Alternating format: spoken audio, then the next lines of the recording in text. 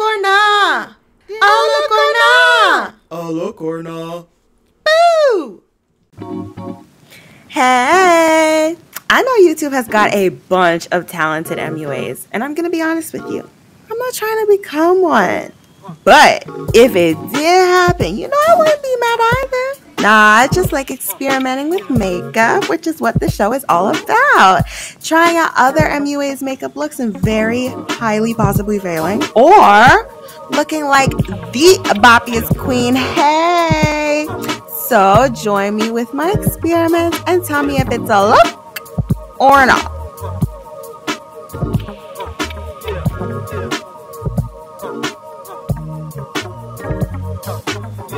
Yeah.